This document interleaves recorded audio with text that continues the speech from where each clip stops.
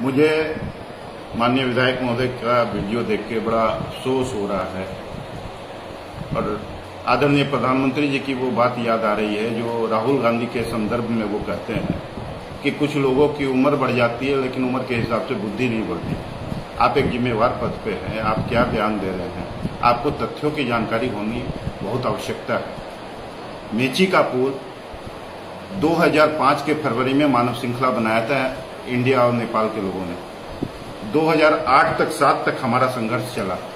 आठ में वो संघर्ष काफ़ी तेज़ी पे रहा 2009 में आदरणीय सरन साहब जो नेपाल में भारत के राजदूत थे, वो मेची पुल पे आए थे और 2009 के आखिरी आखिरी में मेची पुल सेंक्शन हुआ।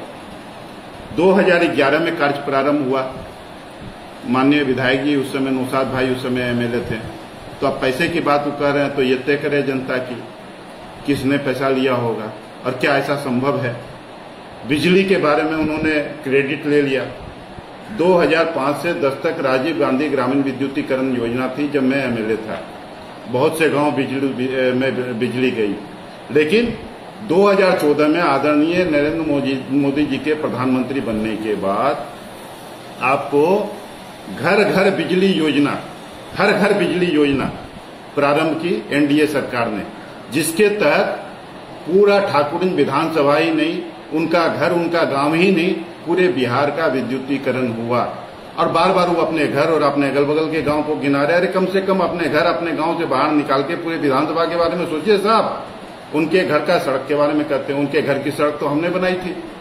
आज जो जिस रोड से अपने घर जाते हैं, वो सड़क पूछिए उनसे किसने बनाई थी हाँ?